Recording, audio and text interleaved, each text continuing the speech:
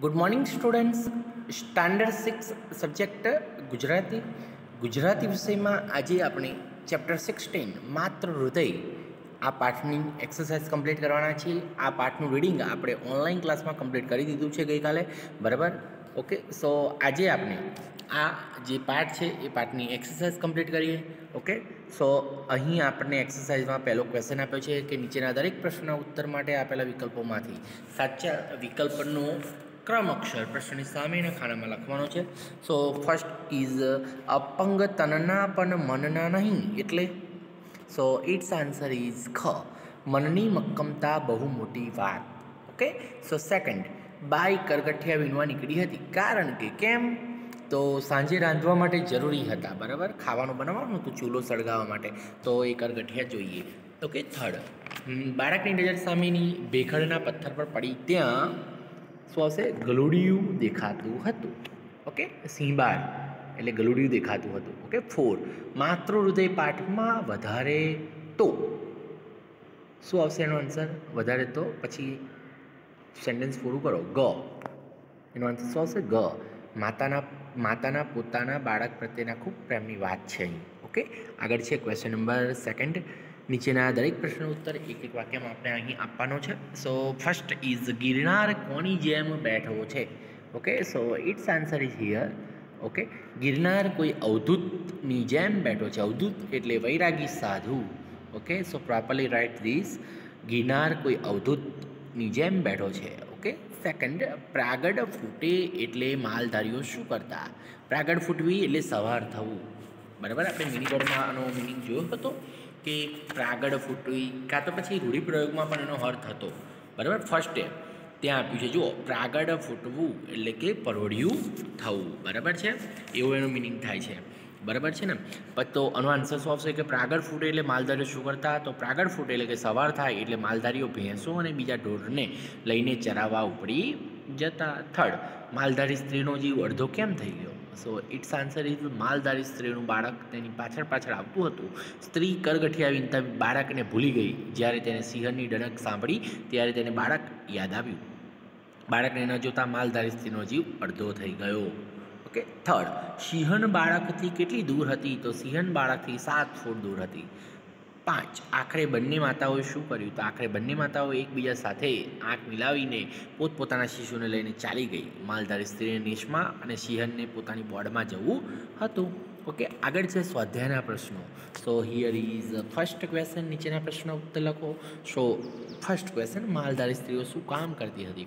તો માલધારી સ્ત્રીઓ સવારે દહીં વલોવતી અને સાંજે બર્તન વિનવા ગીરના જંગલોમાં નીકળી પડતી હતી. સેકન્ડ ક્વેશ્ચન બાળક માતાથી પાછળ કેમ રહી ગયું? તો માતા સૂકા લાકડા વિનતી વિનતી આગળ ચાલી ગઈ અને તેનું બાળક ફૂલડા ચૂંટતું ચૂંટતું, ધીમે ધીમે ચાલતું આવતું હતું. તેથી પાછળ રહી ગઈ. ચૂંટતું એટલે આપણે વાત કરી હતી કે ફૂલને તોડવું, છોડ ઉપરથી તોડી લેવું. બરાબર? તો એ ચૂંટવું કહેવાય. ઓકે થર્ડ બાળક પોતાની સાથે નથી એવી માતાને ક્યારે ખબર પડી? તો સૂકા લાકડા વિનતી માતાએ સિંહણની ડનક સાંભળી. સિંહણનો અવાજ સાંભળ્યો એટલે એને પોતાનું બાળક સાંભળ્યું. એટલે યાદ આવ્યું, પોતાની આસપાસ બાળકને ન જોયું. ત્યારે માતાને ખબર પડી કે પોતાનું બાળક પોતાની સાથે નથી.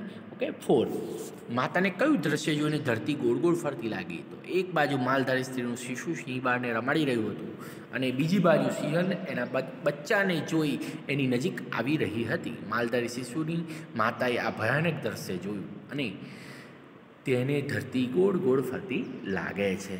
બરાબર? ફિફ્થ, શિકાર માટે ગયેલી. સિંહણ શિકાર કર્યા સિવાય શા માટે પાછી ફરી? શિકાર માટે ગયેલી સિંહણને માનવબાળની ગંધ આવી. તેથી સિંહણ પોતાના વાલ સોયા બચ્ચાના રક્ષણ માટે શિકાર કર્યા વિના પાછી ફરી. બરાબર? સિવાય પોતાની બોર્ડ તરફ પાછી ફરી. સિક્સ સિક્સમાં છે માલધારી સ્ત્રી બંને સોરી માલધારી સ્ત્રી અને સિંહણ બંને વચ્ચે પાયાની સામ્યતા કઈ છે? શા માટે? માલધારી સ્ત્રી અને સિંહણ એ બંને માતાઓ છે. એક મનુષ્ય છે ને બીજું પશુ એમ બંનેના ખોડિયા જુદા છે, પણ બંને માતાઓમાં મમતા અને પ્રેમ સમાન રૂપે રહેલા છે.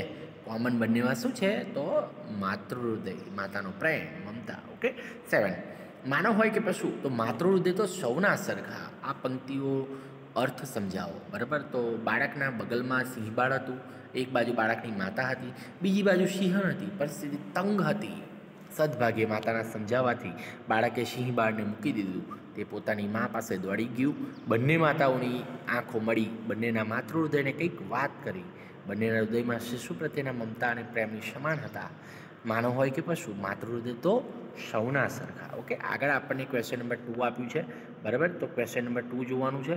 જ્યાં આપણને આપ્યું છે કે નીચેના શબ્દોનો ઉપયોગ કરી વાક્ય બનાવો. તો અહીં બધા જ જે શબ્દો આપ્યા છે, માલધારી, બલિહારી, અસ્તિત્વ, પરિવર્તન, નેસ, શિશુ, આ બધા શબ્દોનો ઉપયોગ કરીને તમારે સેન્ટેન્સ બનાવવાના છે. અને આપણે એક્ઝામમાં પણ પૂછવાના છે કે આવા ઘણા જે શબ્દો છે, એના વાક્યો બનાવો. બરાબર? નેક્સ્ટ આપણે રૂઢિપ્રયોગો જે છે ક્વેશ્ચન નંબર થ્રીમાં જોઈ રહ્યા છે. બરાબર? તો ક્વેશ્ચન નંબર થ્રીમાં રૂઢિપ્રયોગો આપણને પેજ નંબર ફિફ્ટી થ્રી ઉપર આપ્યા છે. તો એ રૂઢિપ્રયોગો જે છે આપણે જાતે લખીશું. બરાબર છે? પછી છે ક્વેશ્ચન નંબર ફોર નીચેના શબ્દોના અર્થ લખો. તો ત્યાં આપણને શબ્દો આપ્યા છે, કરગઠિયા, તો લાકડા કાં તો સૂકા લાકડા. સેકન્ડ પ્રાગડ ફૂટવું, તો પરોડિયું થવું. ઓશાન તો યાદ અને ખોડિયું. તો દેહ શરીર, બરાબર? આ શબ્દાનાર્થી શબ્દો તરીકે પૂછાઈ શકે છે. આગળ ક્વેશ્ચન નંબર ફાઇવ નીચેના વાક્યોમાં ક્રિયા વિશેષણ શોધો. આ આપણે ગ્રામરમાં કમ્પલસરી પૂછવાના છીએ. આપણે ઓનલાઈન ક્લાસમાં સમજ્યા સમજ્યા પણ હતા કે ક્રિયા વિશેષણ કોને કહેવાય? જે ક્રિયાપદ છે, જે ક્રિયા થઈ રહી છે, તેના અર્થમાં વધારો કરે, તેને ક્રિયાપદ કહેવાય. જેમ કે નયન સુંદર અક્ષરોથી લખે છે. બરાબર? તો લખે છે, પણ કેવી રીતે લખે છે? તો સુંદર અક્ષરોથી. બરાબર? તો અહીંયા સુંદર જે શબ્દ વપરાયો છે, એ ક્રિયા વિશેષણ કહેવાય છે. ઓકે? તો અહીં એક્ઝામ્પલ આપે છે. અમે બિલ્લી પગે આગળ આગળા ઉગાડ્યા બિલ્લી પગે. બરાબર? બિલ્લી પગે એનો આન્સર બનશે, ક્રિયા વિશેષણ. સેકન્ડ ક્વેશ્ચન એક સંન્યાસી શાંતિથી ચાલ્યા આવતા હતા. ચાલ્યા તો આવતા હતા કેવી રીતે? તો સંધ્યા સોરી શાંતિથી, બરાબર? તો શાંતિથી એનો આન્સર બનશે. ક્રિયા વિશેષણ ઓકે થર્ડ માણસો ટપોટપ મરવા લાગ્યા. અત્યારે કોરોના વાયરસ ચાલી રહ્યો છે, બરાબર ને? જાણી જ રહ્યા છો આપણે કે કેવા જેને ટપોટપ, આમ આમ ડર લાગે ડર લાગે છે કે ટપોટપ કેવા માણસો મરી રહ્યા છે, બરાબર?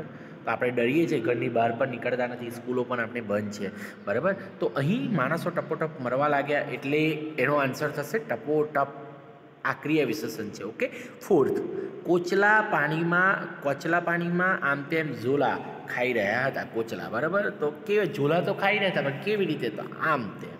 આ ક્રિયા વિશેષણ છે. ફિફ્થ પેલો માણસ ટાઢથી થરથર ધ્રુજી રહ્યો હતો. ધ્રુજી તો રહ્યો હતો, પણ કેવી રીતે? થરથર ઓકે એટલે આ થરથર શબ્દ જે છે, એ ક્રિયા વિશેષણ છે. અહીં સુધી આપણે નોટબુકમાં કમ્પ્લીટ કરી દેવાનું છે અને આ ક્રિયા વિશેષણ માટે કમ્પલસરી તમે ધ્યાન આપજો. બરાબર છે? ફરજિયાત નોટબુકમાં લખજો, કારણ કે આ ક્રિયા વિશેષણ ગ્રામરમાં આ વખતે આપણે પૂછવાના જ છીએ. બરાબર? આપણી નેક્સ્ટ એક્ઝામ મે મહિનામાં શરૂ થઈ રહી છે. બરાબર? ટાઈમ ટેબલને તમને મળી જશે. સિલેબસ પણ મળી જશે. બરાબર? એટલે તમે ધ્યાન રાખીને આ રિવિઝન પણ કરજો અને એક્ઝામ માટે તૈયારી કરજો. આ આપની ફાઇનલ એક્ઝામ છે.